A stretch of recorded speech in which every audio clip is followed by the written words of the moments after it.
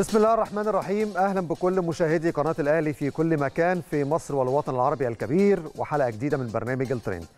جمهور النادي الأهلي العظيم أهلا بحضراتكم وهذه الحلقة الهامة جدا بخصوص بعض المستجدات الموجودة على الساحة الرياضية. تحديدا ال social media لأن الساعات الأخيرة في أخبار كتيرة جدا وأخبار مهمة بالنسبة للمرحلة القادمة. الفوز على الداخلية بهدفين مقابل لا شيء ضمن الأهلي الحمد لله التأهل إلى الدور ربع النهائي آخر مباراة في الموسم الحالي. مباراة الخميس المقبل أمام النادي المصري على استاد برج العرب بإذن الله في الدور الثمانية لمسابقة كأس مصر.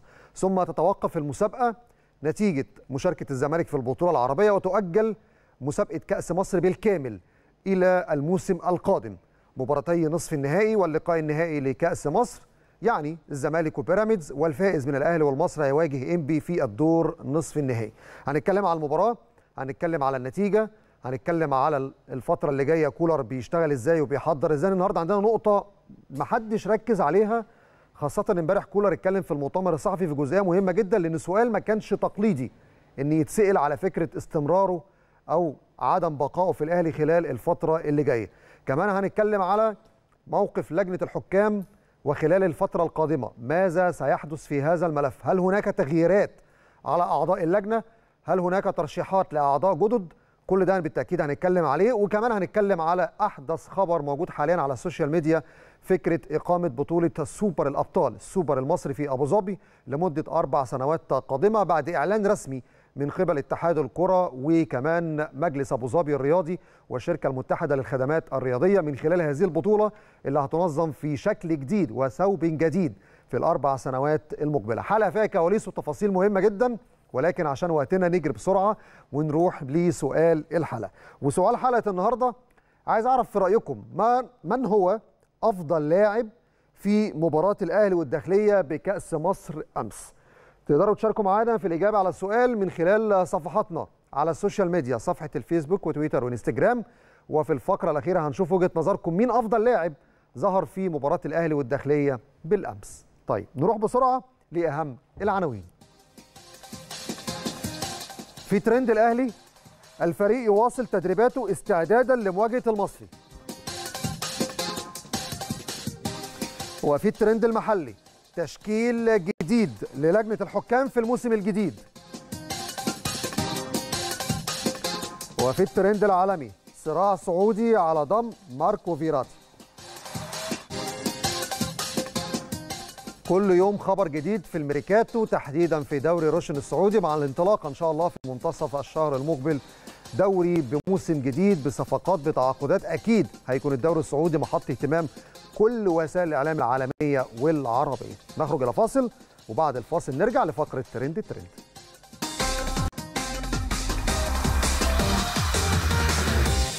أهلا بحضراتكم من جديد. طيب ابرز خبر دلوقتي موجود على ال social media بالتاكيد الاتفاق الرسمي والاعلان الرسمي من الامارات العربيه المتحده عن اتفاق تم واعتماد نظام جديد لبطوله كاس السوبر المصري للابطال. هتقام هذه البطوله في ابو ظبي لمده أربع مواسم متتاليه. اتفاق تم ما بين شركه المتحده للرياضه ومجلس ابو ظبي الرياضي. يمكن الاجتماع شهد حضور الأستاذ عارف العواني الأمين العام لمجلس أبو ظبي الرياضي الأستاذ سيف الوزيري رئيس شركة المتحدة للخدمات الرياضية الأستاذ خالد الدرندلي نائب رئيس الاتحاد الكورة وأمين الصندوق وكمان في وجود المهندس الدكتور وليد العطار المدير التنفيذي لاتحاد الكورة والأستاذ سهيل العريفي المدير الفعاليات في مجلس أبو ظبي الرياضي. يمكن منذ قليل زي ما أنتم شايفين الصورة معانا على الشاشة وجود طبعا كل السادة المسؤولين في توقيع هذه الاتفاقية بخصوص طبعا التعاون اللي هيتم خلال الفترة القادمة يمكن الأستاذ عارف العواني الأمين العام لمجلس أبو ظبي الرياضي وعلى يمينه الأستاذ سيف الوزيري رئيس مجلس الإدارة والعضو المنتدب لشركة Presentation Sport ممثلا عن الشركة المتحدة للرياضة والأستاذ خالد الدرندلي أمين صندوق أو نائب رئيس الاتحاد المصري لكرة القدم. طيب الفكرة في حد ذاتها ان هتكون البطولة بدل ما كان الأول بيشارك بطل الدوري وبطل الكاس في لقاء سوبر لا. هتبقى البطولة بمشاركة عدد أربع فرق. بطل الدوري اللي هو الموسم الأخير بطل كأس مصر بطل كأس الرابطة وصيف الدوري العام. وتم تحديد حاجات كتيرة جدا في حال لو كان مثلا بطل الدوري هو بطل كأس مصر. أحيانا بيحصل بالتأكيد في مصر بيبقى يعني بطل الدوري هو بطل الكاس. طب ساعتها مين اللي هيشارك؟ هيشارك وصيف بطل الكاس. يعني بطولة الكاس الحالية اللي لسه ما خلصتش لو الأهلي فاز ببطولة الكاس وجمع الدوري والكاس هيشارك وصيف كأس مصر. طيب في حال حصول بطل كأس مصر على كأس رابطة الأندية بس ده بقى خلال السنين الجاية لأن السنة دي بطل كأس الرابطه هو سيراميكا كليوباترا وبالتالي سيراميكا خرج من الكاس. فمين اللي هيشارك؟ ساعتها يستبدل أيضا بوصيف كأس مصر. يعني ساعتها لو بطل الكاس هو بطل كأس الرابطة هيشارك وصيف الكاس. طيب في حال تكرار نفس الفريق في البطولات دي هتكون الأولوية لترتيب الدوري المصري. ممكن تيجي سنة من السنين تلاقي بطل الدوري هو بطل الكاس هو مثلا بطل كأس الرابطة. أو تلاقي مثلا بطل الدوري هو بطل الكاس فهتروح للوصيف كأس مصر. فبالتالي أنت لو عندك فريق اتكرر ثلاث مرات هتضطر تروح ساعتها بقى لترتيب الدوري المصري. زي ما بيحصل في المشاركة الإفريقية بتستبعد فكرة كأس مصر عشان البطولة ما بيتمش حسمها فبتروح لترتيب الأولوية في الدوري المصري من الأول لغاية الرابع. فده المعايير أو دي المعايير اللي هيتم الاعتماد على أساسها خلال الفترة اللي جاية عشان يتم اختيار الأربع فرق اللي هيشاركوا في كأس السوبر المصري للأبطال.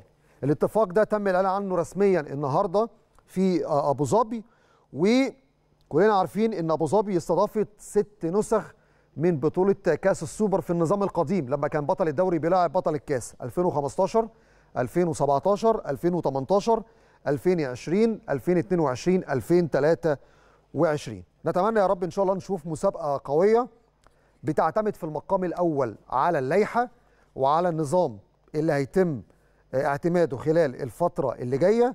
وفي تصريحات مهمة جدا قالت في هذا الشأن. اولا المهندس سيف الوزيري وجه شكره لمجلس أبو ظبي على الشراكة المتميزة والمثمرة في هذا الشأن لافتا إلى أن هناك مؤتمر صحفي سيعقد في أبو ظبي خلال شهر تسعة للإعلان عن كافه تفاصيل الاتفاق ونظام البطولة وموعد انطلاقها والفرق المشاركة. لغاية دلوقتي لسه ما حدش اتكلم على الفرق المشاركة. هو الأول تم الاتفاق على تنظيم هذه البطولة. وتم الاتفاق على فكرة إن البطولة خلاص هتعتمد من الموسم الحالي 2023 وتم الاتفاق والإعلان إن البطولة هتكون لمدة أربع مواسم. واتقالت المعايير بطل الدوري بطل الكاس بطل كأس الرابطة ووصيف الدوري. دي الشروط اللي اتقالت بخصوص المشاركة خلال الفترة اللي جاية. طبعا في المقام الأول ما فيش فكرة بقى اللي اتقالت قبل كده. أصل هيتم الاستعانة بفريق الشركة الراعية هي اللي ترشحه. لا الكلام ده خلاص. يعني إحنا بنتكلم على الأمور الرسمية الأمور الرسمية مفيش الكلام ده خلاص. الأمور الرسمية بنتكلم على الفرق الأبطال. بدليل إن البطولة نفسها اتغير المسمى بتاعها بقى اسمها كأس السوبر للأبطال. وبالتالي دي بطولة منتظر تحديد ميعادها والفرق المشاركة خلال الفترة اللي جاية. طالما البطولة هتتلعب في 2023 يبقى وأنت مغمض عينك كده. بطل الدوري هو الأهلي. بطل كأس الرابطة فريق سيراميكا كليوباترا. وصيف الدوري بيراميدز. يمكن دي الفرق الأقرب حتى الآن طبقا للمعايير دي هي اللي هتشارك. بطل الكاس هيبقى مين ده هنشوفه خلال الفترة اللي جاية. لو الأهلي وبيراميدز وصلوا فاينل هتبقى الأمور سهلة كتير. سهلة؟ سهلة كتير قوي قوي ليه؟ أنت بتتكلم على إن الأهلي بطل الدوري وبيراميدز الوصيف؟ وفي نفس الوقت الأهلي وبيراميدز هما طرفا نهائي الكأس في حال تخطيهم المراحل القادمة للوصول إلى مباراة نهائي الكأس. مش هنسبق الأحداث وهنستنى الفترة الجاية لما يتم تحديد المعايير النقطة بس الخلافية اللي ممكن الناس كلها بتتكلم عليها دلوقتي في شهر تسعة إعلان التفاصيل من خلال مؤتمر صحفي. هل كأس مصر هيكون خلص ولا لسه؟ يعني هل الكأس في وقتها هيكون خلص ولا لسه؟ لأن المفروض بعد الأهلي ما يخلص ماتش المصري يوم الخميس اللي جاي يوم 3 8 البطولة هتتوقف لحين تحديد مواعيد مباراتي نصف النهائي. الزمالك في مواجهة بيراميدز والأهلي إن شاء الله في حالة تخطي هيواجه إنبي. إمتى الماتشات مش عارفين. هل الماتشات هتتلعب قبل ميعاد المؤتمر الصحفي؟ محدش لسه عارف لأن المفروض طبقا للمعايير دي بطل الكاس. هل لو الماتشات دي اتأخرت شوية هيستعينوا بآخر بطل كأس مصر؟ ساعتها هيبقى الأهلي بس الوصيف ساعتها كان بيراميدز. فهنشوف خلال الفترة اللي جاية هيبقى فيها يعني ديالوج شوية في مسألة موقف كأس مصر لأن الموسم للأسف لم ينتهي بالنسبة للكاس. كنا نتمنى انهاء الموسم كله دوري وكاس ولكن مسابقة بالكامل مسابقة بالكامل اتأجلت لمشاركة الزمالك في بطولة ودية في البطولة العربية اللي بتقام حاليا في المملكة العربية السعودية. أنا بركز في التفاصيل دي لأن التفاصيل دي مهمة. لأن الأهلي لما بيجي يشارك في بطولة رسمية قارية بيتكلموا عن التأجيلات. لكن لما بتبقى في بطولة ودية بتأجل مسابقة مهمة زي مسابقة كأس مصر محدش بيتكلم. محدش بيجيب سيرة. محدش بيقول هي مسابقة الكأس مش كاملة ليه؟ فين ماتشات نصف النهائي؟ فين تحديد مباراة النهائي؟ محدش عايز يتكلم. هي بطولة كاملة رسمية اتأجلت عشان بطولة ودية. لغاية لما نشوف بطولة الكاس هتتلعب إزاي خلال الفترة اللي جاية. طيب الأهلي النهارده استأنف تدريباته بعد الفوز على الداخلية بالأمس بهدفين مقابل لا شيء في مباراة دور ال 16 ماتش كان صعب لأن ماتشات الكاس دايما بيبقى فيها مفاجآت. ولكن الأهلي امبارح كولر لعب بالتشكيلة الأساسية. كولر كان حريص إنه يلعب مباراة الداخلية بالتشكيلة الأساسية. كل الكلام اللي اتقال أصل فرقة الداخلية مش منها لعيبة كتيره علاء عبد العال قدم استقالة راح يشتغل في الجونة. كل التفاصيل دي الأهلي ما اشتغلش عليها. الأهلي كان داخل المباراه بال full team بالتشكيلة الأساسية. بدليل بص على خط الهجوم. تاو الشحات كهربا. حارس المرمى محمد الشناوي. الماتش امبارح كان معقرب شوية بس قدر الأهلي بهدفين مقابل لا شيء يقتنص الفوز والتأهل لمواجهة المصري. هدفي لبيرسي تاو ومحمد مجدي قفشه. طيب دي مباراة الداخلية. ماتش المصري آخر ماتش للفريق السنة دي في الموسم لأن بعدها في إجازة وراحة سلبية خلال الفترة اللي جاية. النهارده أول تدريب. من النهارده ليوم الخميس في برنامج تدريبي أعده مارسيل كولر. كل التفاصيل دي بالتأكيد هنعرفها من خلال زميلنا كريم أحمد موفد قناة الأهلي اللي موجود حاليا في مقر النادي الأهلي بالجزيرة عشان نعرف منه كل التفاصيل. كريم مساء الفل عليك. إزيك؟ مساء الخير عليك زميلي العزيز محمد سعيد كل التحية ليك ولكل مشاهدينا وكل جمهورنا العظيم جمهور النادي الأهلي. آخر الأخبار عندك بقى والنهاردة أول تدريب بعد مباراة الداخلية وأكيد تفاصيل كتير عايزين نعرف ماتش المصري الأهلي بيستعد له إزاي. البرنامج التدريبي من النهارده لغاية ميعاد المباراة يوم الخميس بعد ماتش المصري كولر بيحضر إزاي للموسم الجديد في راحة سلبية مدتها قد إيه. كل الأخبار بالتأكيد من خلالك هنعرفها وكل جمهور الأهلي مستني يسمع منك كل الجديد. اتفضل.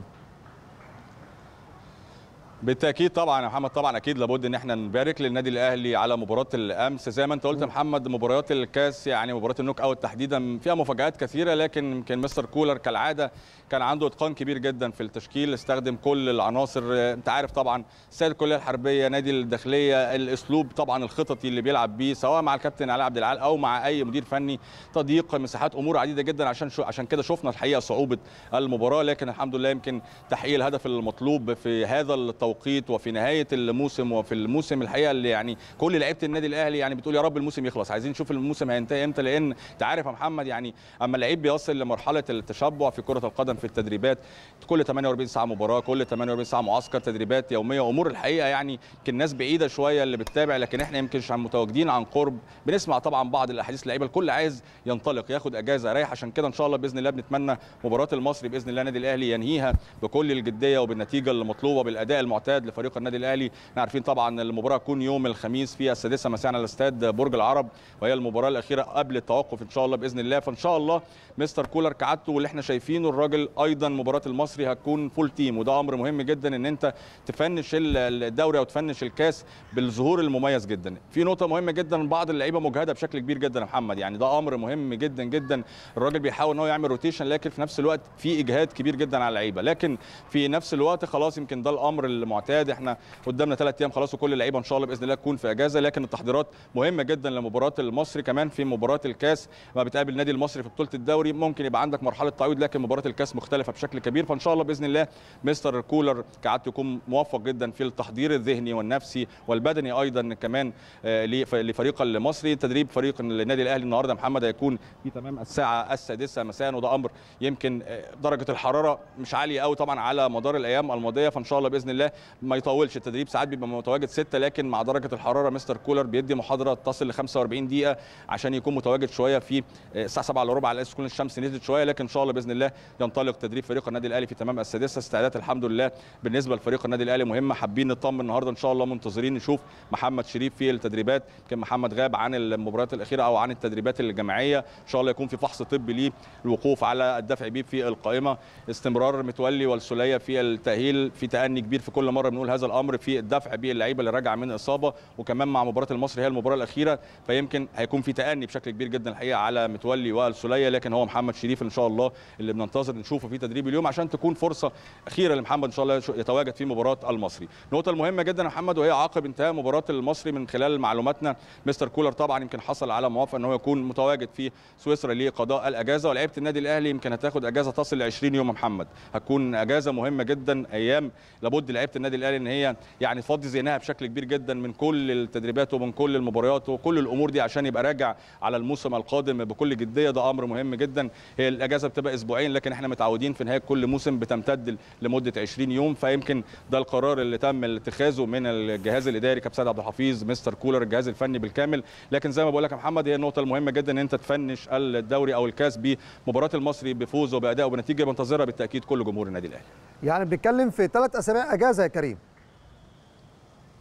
بعد ماتش المصري. بالتأكيد آه يعني تصل لثلاث أسابيع. بالتأكيد يا محمد تصل لثلاث أسابيع. زي ما بقول لك اللعيبة يعني متشبعة بشكل كبير جدا. الكل عايز يصفي ذهنه يمكن دي فرصة مهمة جدا. كمان أنت هتخش على موسم قادم مليء بالمباريات مليء بالبطولات محتاج كل الجهد وكل التركيز يكون فيه. يعني الذهن زي ما بنقول الذهن فاضي خالص. لابد إن أنت تريح نفسك ما يبقاش في أي تفكير. لابد إن أنت تخش الموسم بكل جدية لأن جمهور النادي الأهلي أنت عارف يا محمد زي ما فنشنا بموسم عظيم الحقيقة هذا الموسم النادي الأهلي وجمهوره محتاج الموسم الجاي يكون أكتر من كده كمان وهو يمكن قدر النادي الأهلي في هذا الأمر. عشان كده إن شاء الله بإذن الله يا رب يكون التدعيمات اللي يمكن بيقوم بها مجلس إدارة النادي الأهلي والصفقات تكون موفقة بشكل كبير جدا. لاعبتنا أيضا كمان الراجعه من الإعارة يكون في استفادة بشكل كبير جدا ليها في الموسم القادم. السكواد اللي معانا أمر مهم جدا إن أنت تركز عليه الفترة اللي جاية. عندنا تيم مميز عندنا لعيبة كبار عندنا عقليات مهمة جدا عندنا مدير فني وجهاز فني على أعلى مستوى. عشان كده طماعين الموسم القادم إن إحنا نحقق أكتر من كده محمد وإن شاء الله النادي الأهلي يستطيع أن يسعد كل جمهور النادي الأهلي خلال الموسم القادم. زميلنا كريم أحمد موفد قناة الأهلي بشكرك شكرا جزيلا على كل هذه المعلومات والإيضاحات. كلمنا على موقف محمد شريف هيحاولوا يطمئنوا عشان يشوفوا موقفه ماتش المصري. الإجازة والراحة وده خبر مهم جدا. بنتكلم يعني 20 21 يوم إجازة ده ما حصلتش من فترة طويلة جدا. يعني ده هيبقى شيء رائع جدا بالنسبة للاعبين والجهاز الفني في التحضير للموسم اللي جاي. الموسم اللي جاي هيبقى إزاي؟ قبل ما انتقل لملف مهم جدا الناس كلها أكيد سمعتنا في بداية الحلقة بنتكلم على موقف لجنة الحكام والتشكيل الجديد للجنة. خلال الفترة اللي جاية ده أمر مرتبط ببيان الأهلي اللي صدر منذ أيام قليلة جدا وده مرتبط بحاجات كتيرة. موقف لجنة الحكام تطبيق اللوائح والقوانين إرسال العدالة على المسابقات وتطبيق اللائحة والقانون على الكبير قبل الصغير. كل دي حاجات بالتأكيد هنتكلم فيها في الجزئيات اللي جاية. ولكن الأهلي الفترة اللي جاية مقبل على بطولات كتيرة جدا. اولا هتاخد أجازة من يوم 3 8 بنتكلم في 20 21 يوم يعني هترجع مثلا على يوم 23 8 أو 24 8 بالتأكيد محتاج كمان على الأقل يعني ثلاث أسابيع شهر يعني للتحضير للموسم الجديد. منهم معسكر إعداد أكيد بيتم الترتيب ليه خلال الفترة اللي جاية. فأنت داخل على مرحلة صعبة. بداية الموسم هتكون الأجندة الدولية من 7 ل 12 9 دي أول حاجة في بداية الموسم. منتخب مصر عنده ماتشين في بداية الموسم من 7 ل 12 9 بعد كده في ماتشين تأكد رسميا الأهلي هيلعبهم. منتصف 9 و30 9 دي ماتشات دور ال 32 الدور التمهيدي الثاني في دوري أبطال إفريقيا. وارد وارد إن يتلعب السوبر الإفريقي بين الأهلي واتحاد العاصمة في الفترة دي. في الفترة دي وده إحنا قلناه قبل كده في الحلقات اللي فاتت وشرحنا كواليس كتيرة في ملف السوبر الإفريقي. طيب كأس الرابطة أو قصدي sorry كأس السوبر للأندية الأبطال بالنظام اللي اتقال دلوقتي لسه هيعلن في شهر تسعة ميعاد البطولة. ولكن لما تبص على الأجندة هتيجي في شهر 10 في أجندة دولية في منتصف أكتوبر. بعد كده الأهلي عنده دوري السوبر الإفريقي الدوري الأفريقي الممتاز من 20 10 ل 11 11 وفي التوقيت ده الأهلي مش هيلعب أي مباريات محلية ده قرار رسمي من الاتحاد الإفريقي. فبالتالي شهر 10 ونوفمبر داخل فيه الماتشات دي. طيب بعد ما تخلص ماتشات 11 11 هيبقى عندك أجندة دولية في منتصف نوفمبر. تخلص منها تروح على دوري المجموعات في دوري أبطال إفريقيا والكونفدرالية. وبالتالي انت كل ده مستمر في المشاركات القارية ولسه ما لعبتش حاجة في المسابقات المحلية. تروح بعدها لكأس العالم للأندية من 12 ل 22 ديسمبر. بعد كده عندك كأس أمم إفريقيا في يناير وفبراير. دي الأجندة اللي جاية للأهلي. إمتى البطولة كأس السوبر للأندية الأبطال؟ يعني من المتوقع ده انتظارا لتحديد ده في المؤتمر الصحفي الرسمي اللي هيتعمل في الإمارات في شهر تسعة متوقع إن البطولة تتلعب في أول أسبوع في شهر 10 يمكن ده أكتر توقيت فيه فراغ ممكن يتلعب فيه هذه المباراة. ولكن الناس مستنية بس بلورة بعض التفاصيل عشان يتم الإعلان بشكل رسمي في ظل إن في حاجات قارية يعني لسه الكاف ما أرسلش فيها خطابات رسمية لاتحاد الكورة وإحنا عارفين. إحنا كإعلام ممكن نتعامل مع المواعيد طبقا للمصادر ولكن اتحاد الكورة والرابطة ومجلس أبو ظبي لازم يتعامل من خلال مخاطبات رسمية. في نقطة تانية مهمة جدا. الأهلي يا جماعة لما بياخد قرار بالمشاركة في البطولة بيشارك بناء على كذا معيار. اولا وجهة النظر الفنية للمدير الفني. ثانيا احترام اللائحة وتطبيق القانون عشان اللائحة تطبق على الجميع فبالتالي لما بيشارك في بطولة بيناقش كل التفاصيل دي في اجتماعات رسمية فهنستنى الفترة الجاية نشوف الأهلي هيبقى مقبل على إيه لأن عنده استكمال الكاس القديم اللي إحنا فيه إن شاء الله في حاله تخطي المصري يوم الخميس.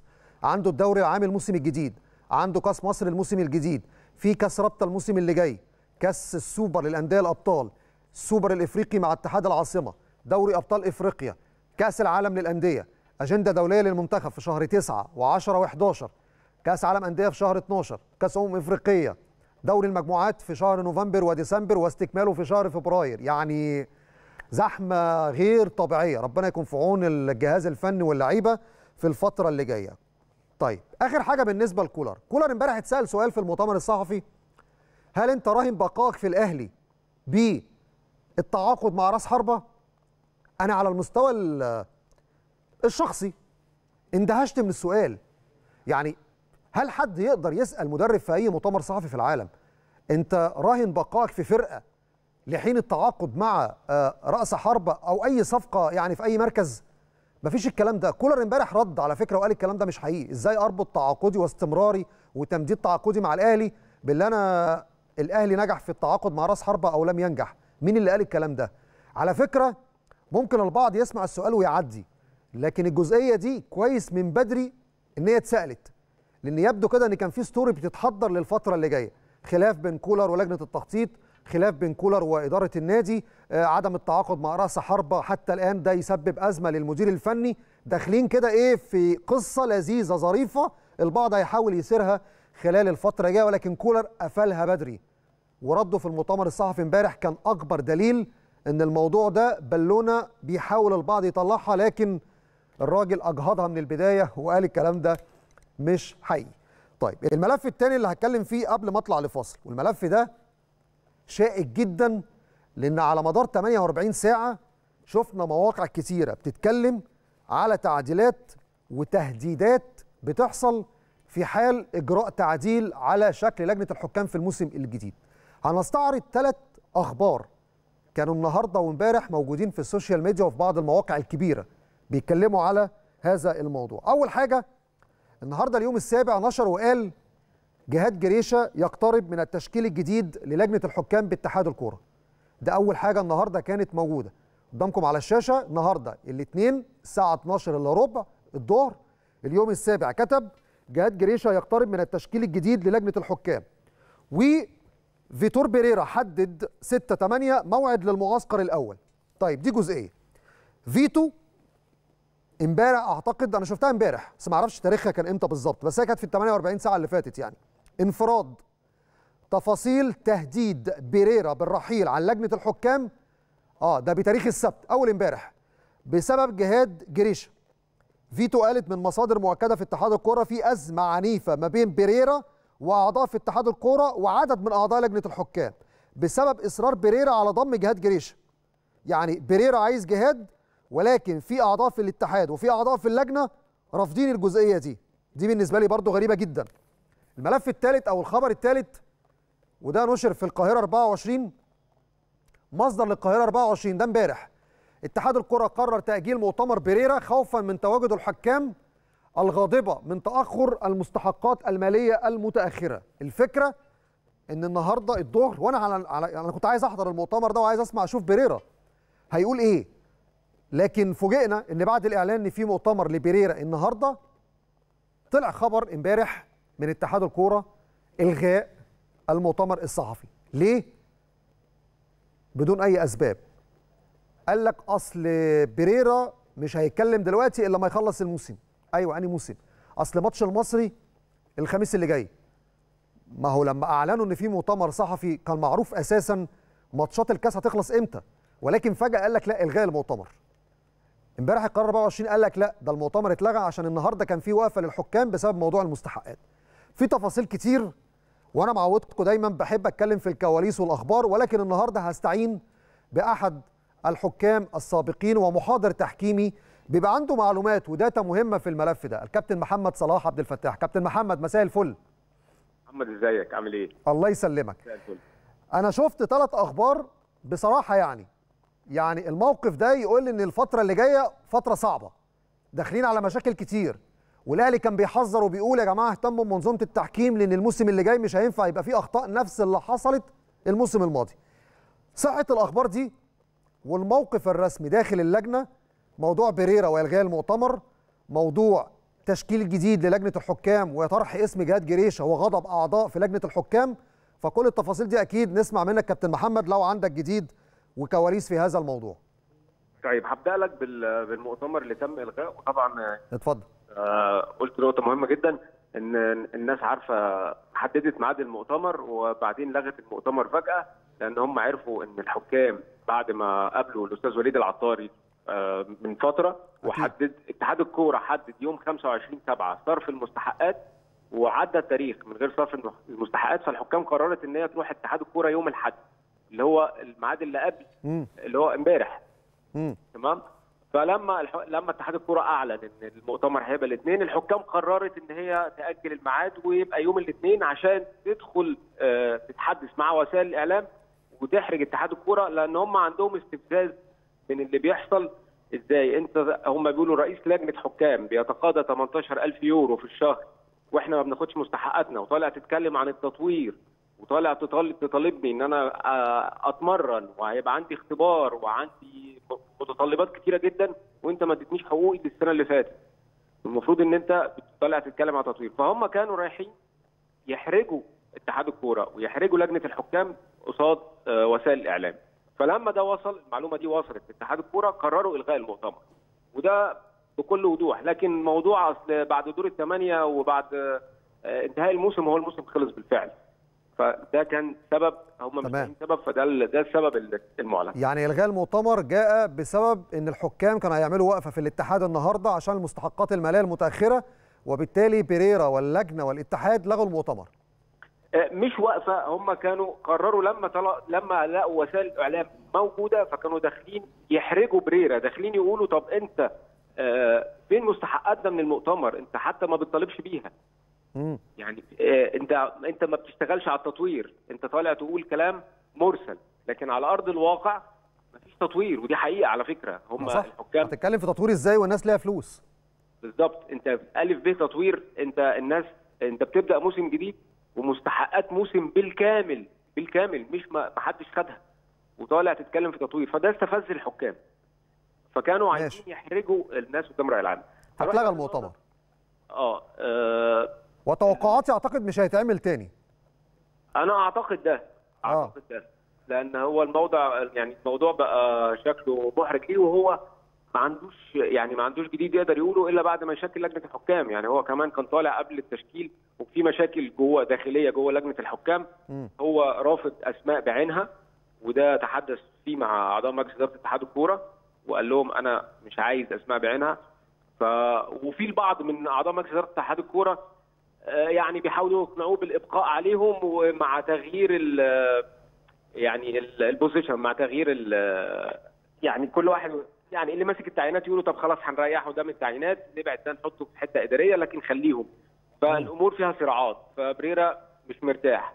وخصوصا إن كمان هو لما وصل له بيوصل له كل حاجة بتتقال عليه في, في الإعلام. بيوصل له كويس قوي ولقى إن الإعلام كله بيتكلم عن التعيينات.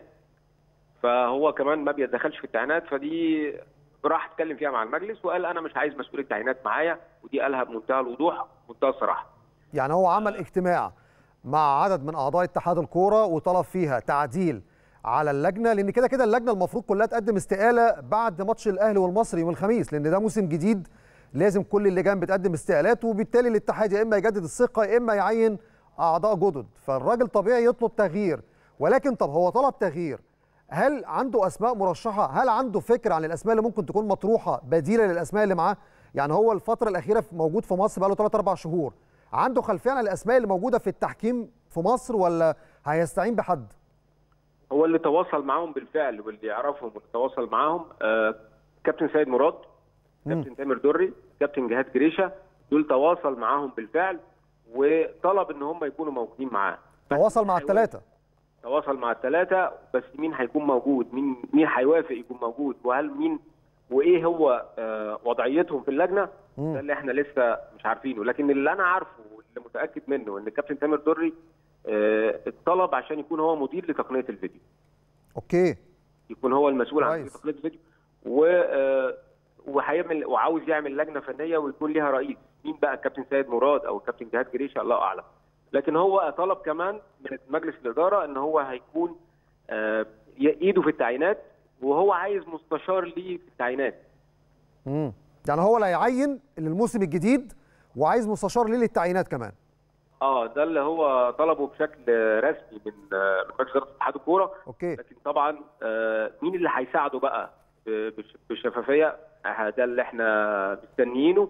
وخصوصا بعد مشكلة التعيينات الأخيرة عملت صدام كبير جدا جدا جوه لجنة الحكام. طيب. عايز أقول لك آه، بالمناسبة لجنة الحكام يعني سربت سربت شوية معلومات إن هي بتقول إن بريرا كان هيطلع يتكلم في المؤتمر الصحفي عن تصنيف الحكام. أنا بس رسالتي للجنة الحكام واللي سرب المعلومة دي مم. أنا بقول له أنت أي تصنيف اللي بتتكلم عنه وإن أنت الموسم اللي فات ادار الدوري 44 حكم في منهم سبعة ثمانيه بس اداروا ثلث المباريات أو أو 70 أو يعني نص المباريات في من نصهم ادار مباراة ومباراتين. على أي أساس التصنيف؟ طيب جزئية الثلاث أسماء اللي كلمهم من ضمنهم اسم الكابتن جهاد جريشة. فيتو كتب خبر وأعتقد الخبر ده فيه تفاصيل يعني تخوف. إن الراجل عايز يعمل تعديلات زي ما أنت قلت فعلا وكلم جهاد جريشة ولكن إن الاتحاد في ناس رفضت وأعضاء في اللجنة أبدوا غضبهم وبالتالي دي تفاصيل ممكن تجبر الراجل على الرحيل. هل الكلام ده فعلا وصل للمرحلة دي ولا ده ممكن لسه كلام؟ يعني الناس بتحاول تسبق الأحداث ولكن لسه كلام ما حصلش. هقول لك آه، حاجة أول مرة الناس تسمعها على الهوا. اتفضل. قال كده نصا. في أسماء بعينها. لو تواجدت معايا في لجنة الحكام أنا مش هكمل. على طول قال كده. آه لكن أنا مش هقول اسمائهم منع للاحراج يعني آه. لكن هو قال في ناس لو كملت معايا أنا مش هكمل وهو مش عايزهم نهائيا يبدو ان الراجل خلاص خاف على اسمه بعد اللي حصل الفترة الأخيرة هو يعني اللي حصل في الفترة الأخيرة كل الناس شايفاه يعني إحنا مش بنقول حاجة مستخبية لكن طبعا اللي أثار حافظته بشكل مستفز التعيينات اللي كان فيها استفزاز كبير جدا حتى للحكام مش لبريرا بس مش. للرأي العام انت النهارده بتتكلم آخر 10 مباريات مثلا انت بتتكلم في ثلاث أربع حكام بيتكرروا بشكل استفز الحكام بشكل كبير جدا. طب أنا أقول لك على معلومة أنا سمعتها تقول لي صح أو غلط.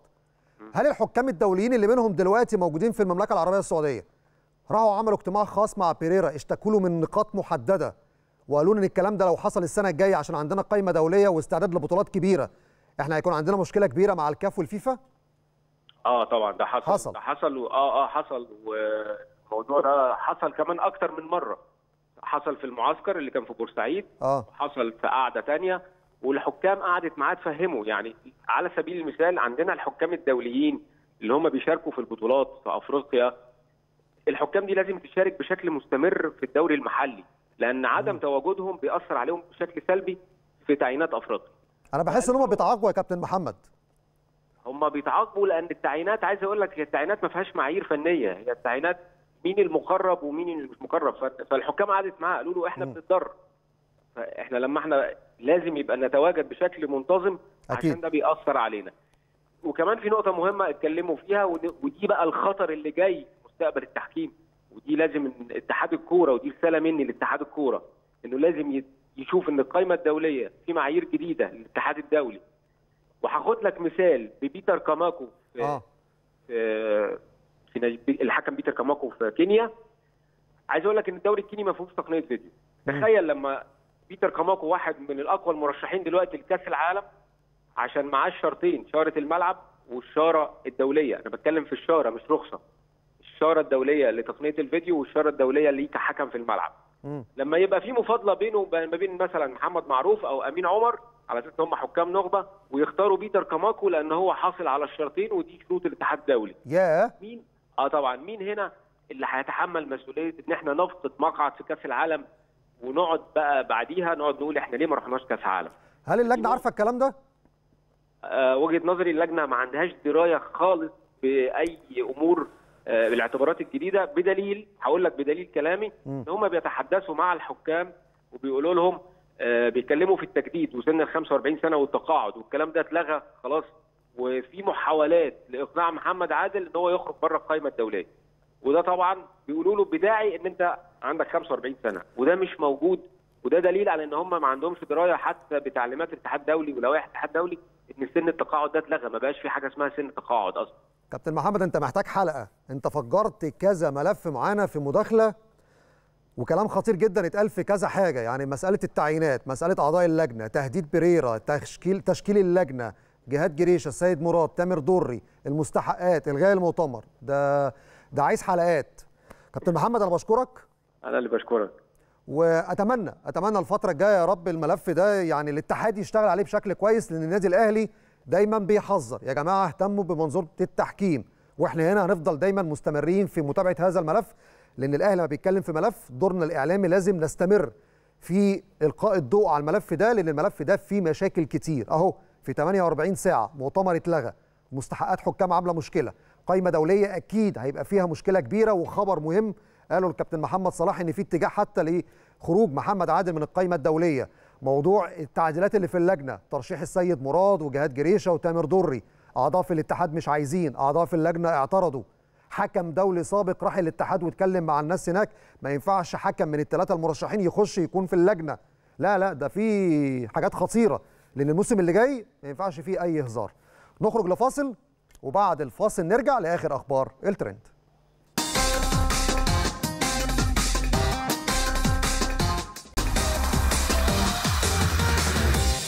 الصفقات والانتقالات ومكافأة الفيفا للأهلي أبرز المعلومات النهاردة معانا والميريكاتو في الصفقات الأوروبية. كل ده في آخر أخبار الترند. نتابع.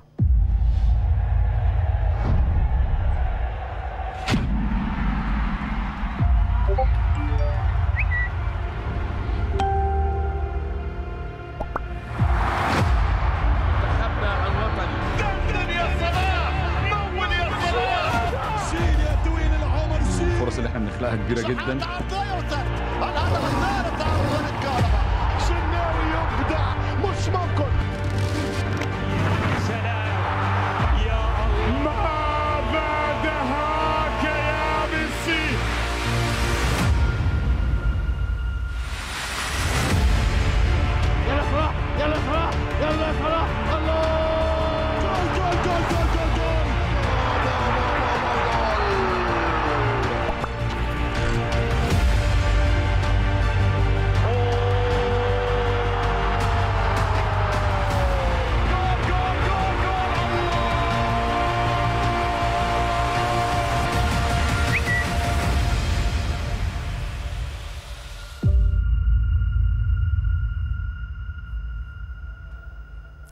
أهلا بحضراتكم من جديد وآخر أخبار الترند. عشان وقتنا بيجري بسرعة نبدأ بترند الأهلي وحساب في الجول.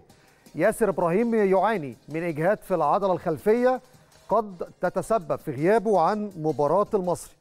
والله يا ياسر يعني كان الله في عونك وفي عون الفريق بالكامل. الأهلي بيقترب من حوالي 60 مباراة حتى الآن في هذا الموسم. معدل كبير جدا. موسم كان طويل شاق مباريات كتيرة. لكن يعني البركة في الموجودين رامي ربيعة موجود.